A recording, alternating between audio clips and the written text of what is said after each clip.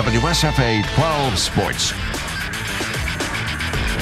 Auburn coach Gene Chizik in the capital city tonight on the Tiger Trek, signing autographs and speaking to the Montgomery Quarterback Club, raising money to help send local students to Auburn.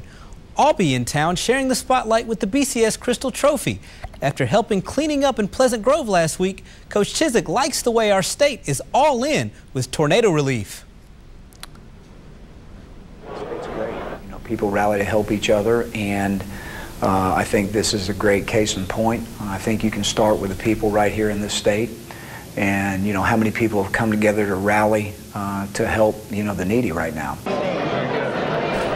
Tomorrow on WSFA 12 News at 6, we'll talk football with Coach Chizik and get his game plan for defending Auburn's national championship. Evan Longoria wrapping up his Riverwalk rehab assignment. Evan did it again tonight, his third home run in four games. Looks like he's ready to rejoin the Rays tomorrow in Tampa Bay. The visiting Jacksonville Suns strike first with three in the first, but the Biscuits steadily chip away.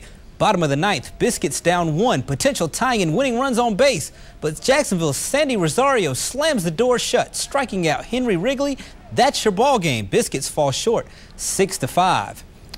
High school sports are back after taking the weekend off because of the tornadoes. A 6A showdown tonight in Prattville, the Lions hosting the two-time defending state champs from Auburn.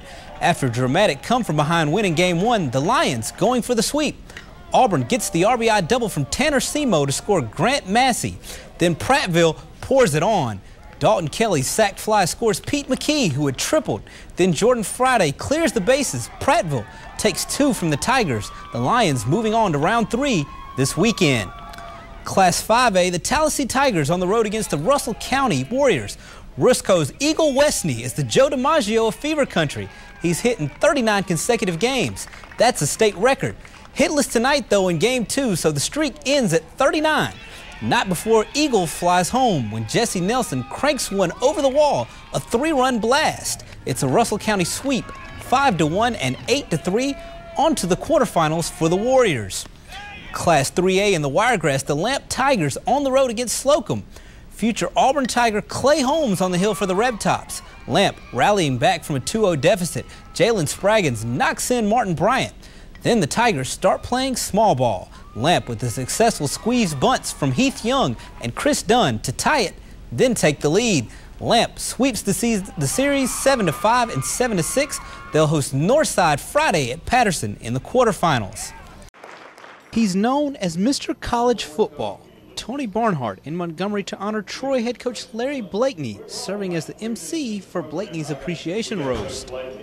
It's an extraordinary thing. Anytime a coach can stay for 20 years in one place, I don't care what level of football you're talking about, Pop Warner, doesn't matter.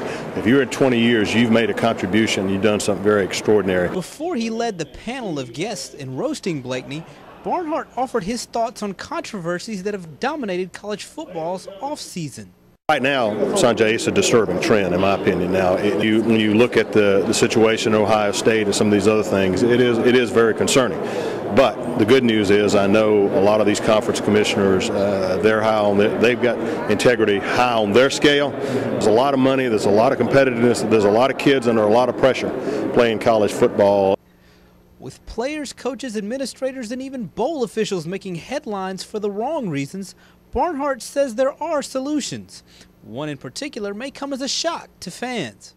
One of the things we should do, uh, I don't think it'll ever happen, but I think, and I actually I talked to an SEC coach the other day that agrees with me. I think we should, I think freshmen should be ineligible. I think the pressure of high school kids uh, to perform, to perform early, the whole recruiting process is a part of the fact that these kids expect to play as freshmen, to have impact as freshmen, and three years later they expect to go to the NFL draft. Spring practices wrapped up across the country. Barnhart turned his focus back to the field, including his opinion on which SEC school has the best chance at winning the league's sixth consecutive national title. I really like Alabama, uh, particularly in the Southeastern Conference. I think I was there the other day.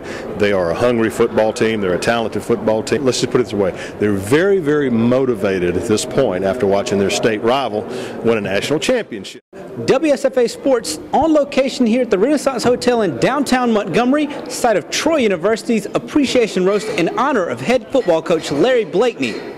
He's one of only two coaches in NCAA history to guide a program from Division II to the big time. The Troy football program has come a long way during Larry Blakeney's 20 years as its head coach. There's a, no question that Troy University can do anything uh, that they desire to do. And, uh, you know, you can look 101 years back. Uh, our history in football is that old, and we've covered a lot of ground. We've done a lot of great things. The event was held before a sellout crowd of supporters that included over 30 former players, including current Buffalo Bills quarterback Levi Brown. Playing for him is great. He's definitely a player's coach. Um, I've heard people say that about him before, and I would definitely agree with it. Um, you know, he just he doesn't put a whole lot of stress on you as a player, but at the same time, he makes you want to play hard for him.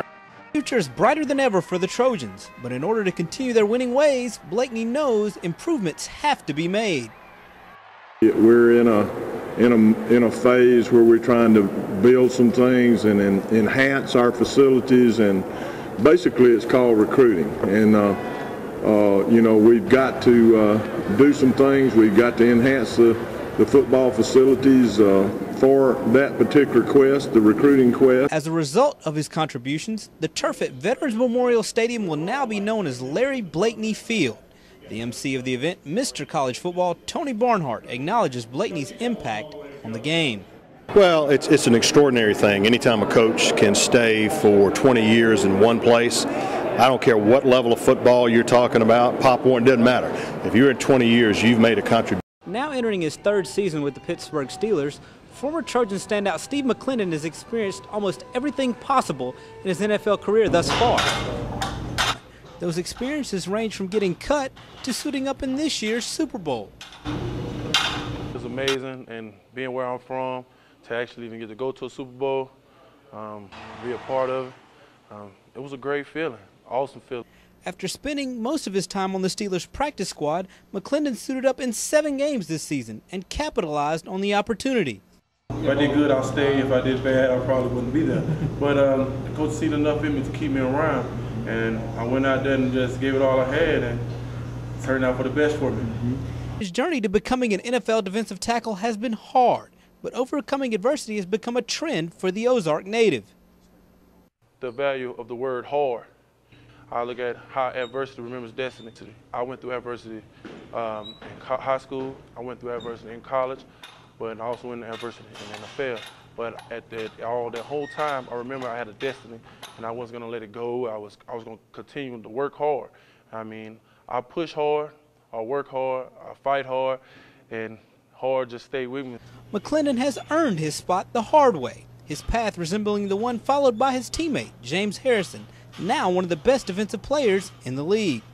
A guy like that is some, something like myself, you know, undrafted. I'm not trying to compare us, but we're both undrafted. Um, he didn't give up.